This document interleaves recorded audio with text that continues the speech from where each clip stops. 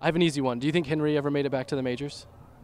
Um, no. No. No, because he wanted to, you know, live a normal life and didn't want to play that game. But I actually did pitch Fox a, uh, a reboot sequel. Really? Um, they didn't. How, what, what what went on with that? They didn't. They they are interested in possibly doing a sequel or a reboot at some point, but not quite yet. Uh-huh. So I think my plan is this year I'm going to launch like one of those crazy uh, pledge film campaigns. So there's Pledge Music, which is uh, started before Kickstarter. Everybody knows Kickstarter, Yeah.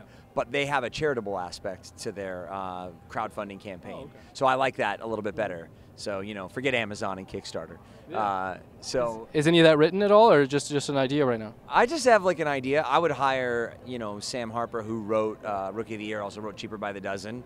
And my, my sort of concept is, you know, I could, my son's six, I could have a 12 year old, you know, kid um, that, uh, you know, maybe he suffers the same sort of fate of getting a, a fast pitch arm, but I don't want him to do it, and then he ends up getting drafted. And But then Henry's got to join the team too, and maybe he never lost his arm. Uh-huh.